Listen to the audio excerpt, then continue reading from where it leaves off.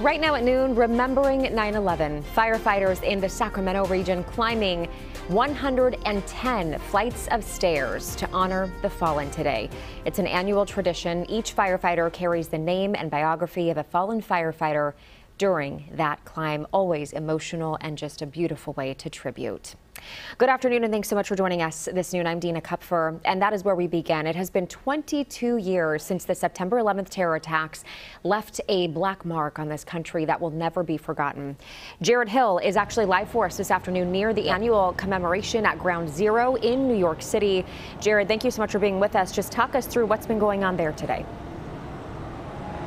Yeah, Dana, you know, one of the things that we've seen now 22 years again after those attacks on 9-11 is this increasing emphasis to make sure that younger generations remember and, and learn and know what happens as more Americans are born after those terror attacks. As one of the speakers put it earlier today, making sure that that message and those stories are relayed so that the people who lost their lives are remembered through younger generations.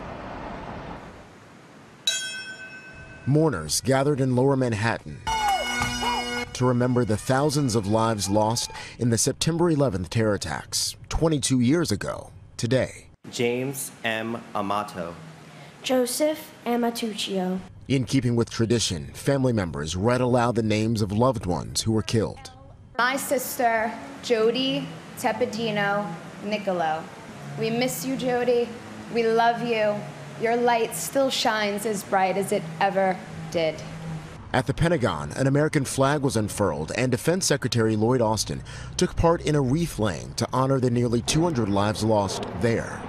The men and women of the Department of Defense will always remember. And in Shanksville, Pennsylvania, relatives left flowers at the memorial wall for victims of United Flight 93 the plane crashed when passengers tried to overtake the hijackers. Back here in New York, the fire department, which lost 343 members that day, continues to lose members even now. First responders are dying from illnesses stemming from the rescue and recovery efforts at Ground Zero. World Trade Center illness is very real. Uh, we lose so many people to it, um, and early prevention and detection and treatment is key.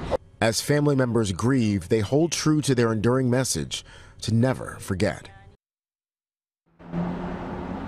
And President Biden is expected to deliver some remarks later on this afternoon from Alaska on his way back from a trip to Asia. Back to you.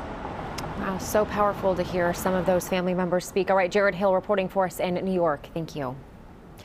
In West Sacramento today, thousands of flags have been placed in a field to honor the victims who died that day.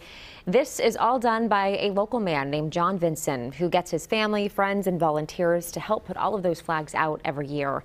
The memorial is at the corner of Jefferson Boulevard and Locks Drive. The site is open 24 hours, but those flags will be taken down tomorrow morning if you are interested in going and taking a look.